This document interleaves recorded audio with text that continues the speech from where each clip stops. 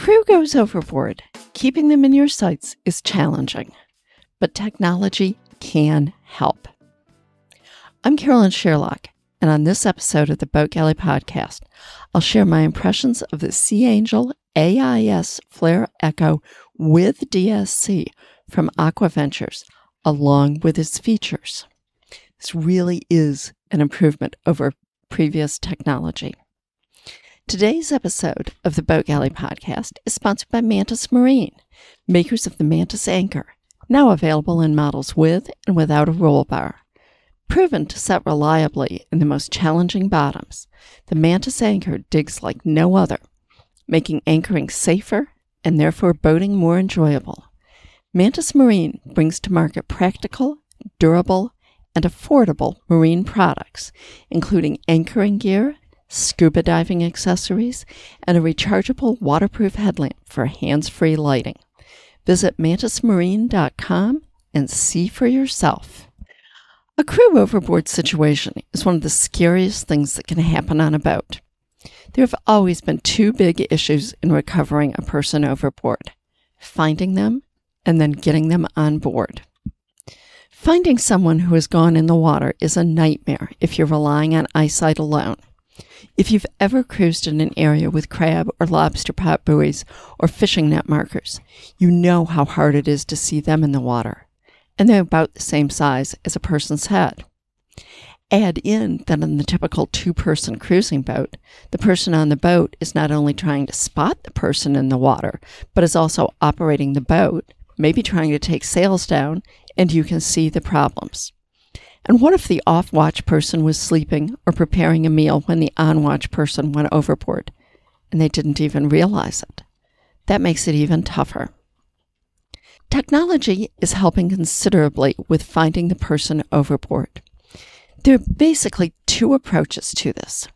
Sending a signal to search and rescue authorities with a PLB, that's a personal locator beacon, or notifying boats in the area including the one that the person overboard had been on.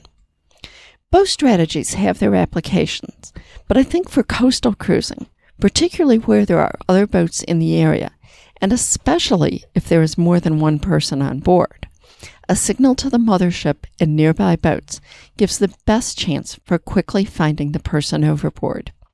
This is especially true if that signal includes a GPS fix of where the person overboard now is and can sound an alarm that will wake up any sleeping off watch crew members. Such technology is now available with a combination of an AIS DSC locator this combines an AIS signal showing the location of the person overboard, along with a DSC or VHF alarm that sounds on the mothership.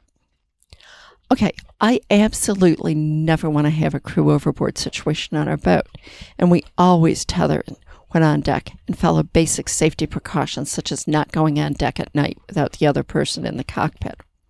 Still, I think that having a person overboard locator is extremely important for all boaters, especially those sailing with just one or two others on board. A couple of years ago at the Miami Boat Show, I got the Sea Angel AIS Flare Echo with DSC from Aquaventures. This is an AIS DSC locator.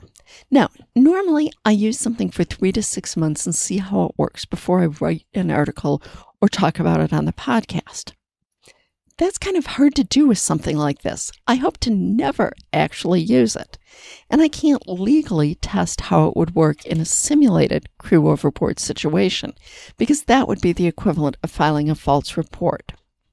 So instead, I have to rely on the information that the company gave me and their um, simulations there at the boat show that they had gotten special permitted for.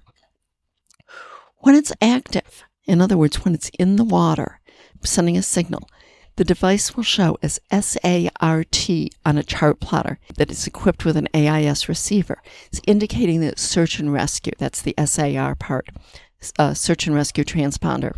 At the same time, a DSC alarm is sent to the mothership, which is programmed with the same MMSI. So you have to have your MMSI number programmed in correctly. Then it will alert any other crew on board that someone has gone overboard. And believe me, that alarm is plenty loud to wake up the off watch. The AIS and DSC signals will transmit about 5 to 10 miles, depending on wave height. Since the alarm goes out immediately, the mothership should easily be in range. I think that this type of device considerably improves the odds of finding a person overboard when there is someone else on board. The combination of immediately knowing that someone has gone overboard, knowing their location, and enlisting the help of other boats in the area via AIS is a tremendous step forward. Further, since other crew on the mothership are alerted immediately, they can issue a mayday on channel 16 on the VHF to alert other boats in the area and enlist their aid. That alarm that goes off through the DSC is only going to go to the mothership. It's not going to go to other boats in the area. So you need to get on the radio and tell the other boats that there has been a person overboard.